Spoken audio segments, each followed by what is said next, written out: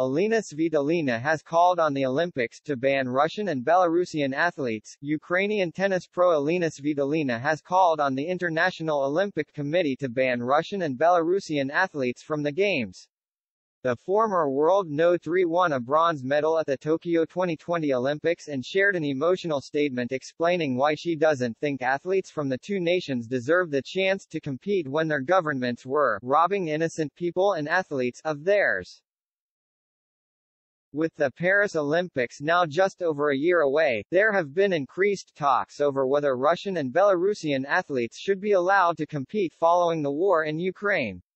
Different sports have taken different approaches to athletes from the two nations over the last year, with tennis allowing Russians and Belarusians to play as neutrals without any mention of their country or flag while Wimbledon went a step further last year and banned them entirely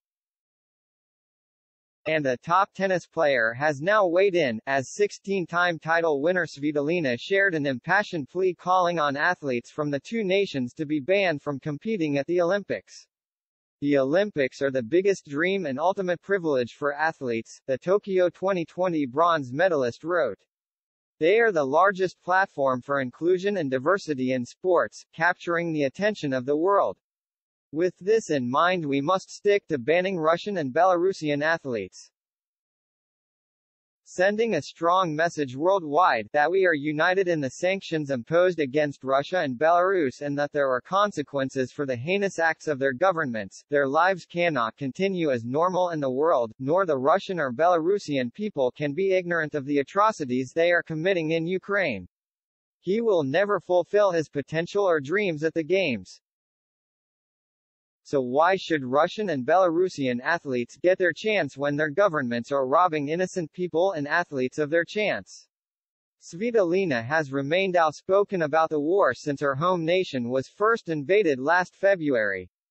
The former world number 3 refused to play a match against Russia's Anastasia Potapova at last year's Monterrey Open unless the tours took action against Russian and Belarusian players to make them neutral athletes. The ATP, WTA, ITF and four Grand Slams quickly released a statement announcing that they had taken the decision to make players from the two nations neutral with no mention of their flags or countries, and Svitolina played and won the match. The 28-year-old has now played for almost a year after announcing her pregnancy and giving birth to a daughter with fellow tennis pro Gael Monfils.